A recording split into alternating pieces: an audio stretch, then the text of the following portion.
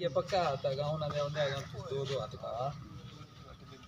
पट नहीं। शादी शुदा आ गया।